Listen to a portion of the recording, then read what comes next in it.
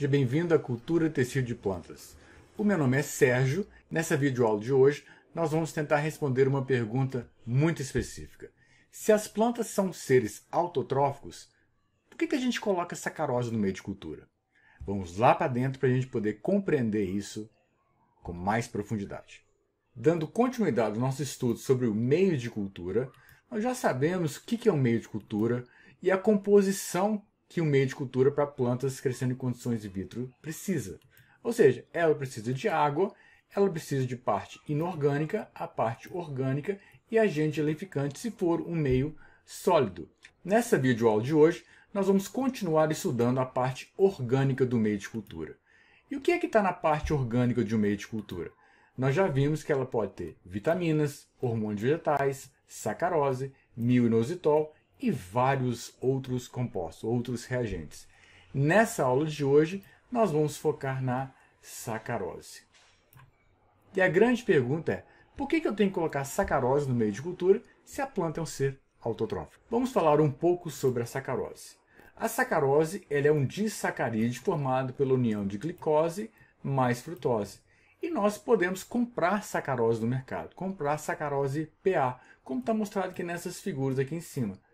Você compra isso no mercado, compra isso numa casa que vende reagentes para a química. Só que são reagentes caros e a gente gasta uma grande quantidade de sacarose quando a gente trabalha com cultura de tecidos de plantas. Então, o que é feito do ponto de vista prático? o que nós fazemos é trabalhar com açúcar cristal. Açúcar cristal tem certo grau de contaminação? Tem. Ele é tão puro quanto a sacarose produzido para análises químicas? Não. Mas a gente assume esse erro e padroniza esse erro para todo o nosso experimento. Nós não trabalhamos com açúcar refinado, trabalhamos com açúcar cristal. Isso é utilizado em diversos laboratórios ao redor do mundo inteiro, porque o custo da sacarose, a quantidade que é utilizado sacarose para trabalhar com cultura de tecidos é uma quantidade elevada.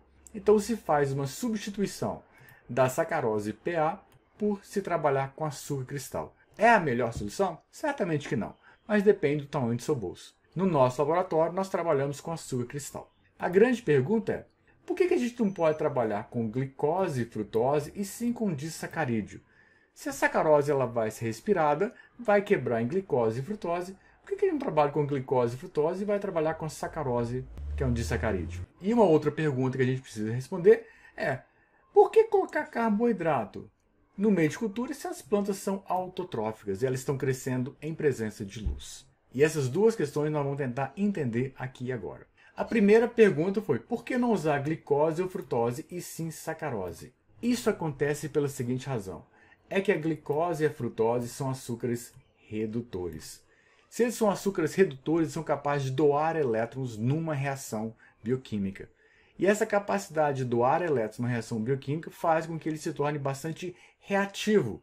E ele pode interagir, reagir com outros compostos no meio de cultura através de uma reação de oxirredução. Isso pode comprometer, diminuindo a disponibilidade daqueles compostos no meio de cultura. Por isso que normalmente não se trabalha com glicose ou frutose como monossacarídeos adicionados no meio de cultura. Pode-se fazer isso? Eventualmente vocês vão encontrar algum trabalho que utiliza, mas na grande maior parte dos trabalhos vocês vão trabalhar mais é com o disacarídeo mesmo, com a sacarose. Além disso, é a forma como os carboidratos são transportados na planta. A planta transporta carboidratos principalmente através do floema, e ele é transportado na forma de sacarose, não é transportado na forma de glicose ou frutose. Justamente porque pelos mesmos motivos que nós mencionamos aqui, porque eles, a glicose e a frutose são açúcares redutores e eles interagem com o composto do floema e de certa forma dificultam o transporte das substâncias, diminui a sua disponibilidade.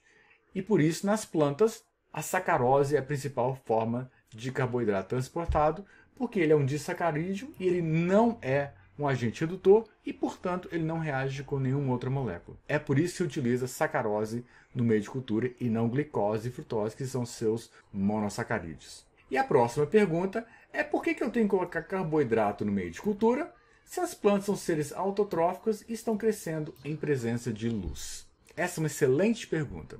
E para a gente poder responder essa pergunta, nós precisamos aprofundar e relembrar alguns conceitos de fisiologia vegetal. E por que então se coloca carboidratos? Aqui está a explicação e que nós vamos destrinchar essa explicação. É porque na sala de crescimento, ou seja, aonde as plantas estão crescendo, que é uma sala que tem controle de temperatura e de luz, nós temos luz lá dentro. No entanto, as plantas estão localizadas numa condição abaixo do seu ponto de compensação luminoso. Ou seja, nessas condições, a fotossíntese líquida dela é menor do que zero. Ela libera mais CO2 do que fixa CO2. Vamos entender isso com mais profundidade. Primeiro ponto que precisamos chamar a atenção é o que nós chamamos de radiação fotossinteticamente ativa. O que é radiação fotossinteticamente ativa? É a radiação que efetivamente é utilizada para o processo da fotossíntese. E na fotossíntese, a radiação que é utilizada fica entre 400 e 700 nanômetros. Ou seja, é o espectro do visível. Então a luz no espectro do visível é a luz que é utilizada para a fotossíntese. Não é a luz abaixo dos 400 e nem a luz acima dos 700. Essas luzes abaixo dos 400, ultravioleta em diante, ou acima dos 700, que é o infravermelho em diante, não é utilizado pelo processo da fotossíntese. Para a fotossíntese, os comprimentos de ondas que participam são aqueles que estão compreendidos entre 400 e 700 nanômetros. Não vamos aprofundar mais do que isso, tem mais níveis de profundidade além desse, mas vamos nos restringir a isso, que a radiação fotoesteticamente ativa é aquela compreendida entre 400 e 700 nanômetros, faixa do visível. E quando nós analisamos a fotossíntese, nós podemos ver através desse gráfico que no eixo X eu tenho a luz absorvida, aqui está a unidade, micromol por metro quadrado por segundo. É a unidade de medição da radiação fotoesteticamente ativa. E no eixo Y, eu tenho assimilação de CO2. O que, significa assimilação de CO2? Significa fotossíntese. É isso que significa a assimilação de CO2. E nós podemos ver através desse gráfico, que é um gráfico mediano, que busca representar aquilo que nós vamos encontrar na natureza, nós podemos ver que abaixo de zero nós temos uma fotossíntese negativa. Que significa uma fotossíntese líquida negativa? Significa que o tanto de carbono que está sendo captado é menor do que a quantidade de CO2 que está sendo liberado. Por outro lado, nós temos acima de zero é quando nós temos a fotossíntese líquida positiva, ou seja, a quantidade de CO2 captado é maior do que a quantidade de CO2 liberado. O que é CO2 liberado? É liberado pela respiração e é liberado pela fotorrespiração. Então nós temos esses dois componentes que liberam CO2 dentro das células. Por outro lado, na fotossíntese líquida, nós temos a fotossíntese bruta, que é aquela que efetivamente vai pegar o CO2 atmosférico e incorporar em esqueleto de carbono, na forma de carboidrato. E temos um ponto em que a fotossíntese líquida vai ser zero. E o que é ponto de compensação luminoso, então? Ponto de compensação luminoso é a radiação na qual a fotossíntese líquida é zero. E qual que é esse ponto nesse gráfico? É este ponto é o ponto de compensação luminoso, que vai ter um reflexo aqui na quantidade de luz que vai ser responsável por aquela fotossíntese líquida igual a zero. Nenhuma planta sobrevive no seu ponto de compensação luminoso ou abaixo dele a planta, para sobreviver, ela precisa estar acima do seu ponto de compensação luminoso. Ela só vai crescer e desenvolver se ela estiver acima deste ponto de compensação luminoso. Ou seja, se ela tiver luz acima deste limite mínimo.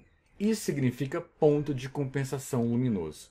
Ou seja, ponto de compensação luminoso é quando a fotossíntese líquida é igual a zero. Em outras palavras, que a quantidade de CO2 liberado pela respiração mais fotorrespiração é igual à quantidade de CO2 fixado, e aqui está mostrando o ponto de compensação luminoso, e aqui está mostrando a radiação equivalente a este ponto de compensação luminoso. E o que, que acontece com as plantas crescendo numa sala de crescimento? As plantas que estão crescendo numa sala de crescimento, elas normalmente estão abaixo do seu ponto de compensação luminoso. Ou seja, elas estão liberando mais CO2 do que fixando. E numa condição dessa, ela não tem condições de crescer. Ela não tem um superávit de carbono na forma de carboidrato para permitir o crescimento e desenvolvimento daquela planta. Então, neste caso, Se ela não é capaz de produzir aquilo que ela precisa, e nós estamos trabalhando em condições totalmente controladas, o que, que a gente faz na cultura tecido de plantas? A gente adiciona aquilo que ela produziria. A gente adiciona sacarose. Ou seja, numa condição in vitro, a gente coloca sacarose no meio de cultura porque as plantas naquela condição in vitro, sobre aquela luminosidade, elas são totalmente heterotróficas. Elas não são capazes de sintetizar para permitir a sobrevivência do próprio órgão que faz fotossíntese. Então, por isso, nós adicionamos sacarose no meio de cultura. Por quê? Porque as plantas estão abaixo do seu ponto de compensação luminoso. E quanto de sacarose é adicionado ao meio de cultura para as plantas in vitro? Quanto que eu tenho que colocar de sacarose para ela? Esse valor é muito variável, mas em média, a concentração mais utilizada para cultura de tecidos é de 3%, massa sobre volume. Existem variações em relação a essa quantidade? Existem. Você pode utilizar menos e tem determinados tratamentos que você tem que utilizar mais, como por exemplo na cultura de embriões. Normalmente trabalha com concentrações mais elevadas. Existem explicações para isso. Mas na média e na grande maior parte dos artigos publicados que utilizam cultura de tecido de plantas, se utiliza sacarose a 3% no meio de cultura. Agora você já sabe por que, que se adiciona sacarose no meio de cultura. É porque as plantas que estão crescendo naquelas condições não são capazes de produzir a quantidade de carboidratos que elas precisam para o seu crescimento e desenvolvimento. Por isso se adiciona sacarose. Nunca se esqueçam disso. Basicamente era isso que nós tínhamos para passar para vocês nessa videoaula e nos vemos na nossa próxima videoaula. Até a próxima!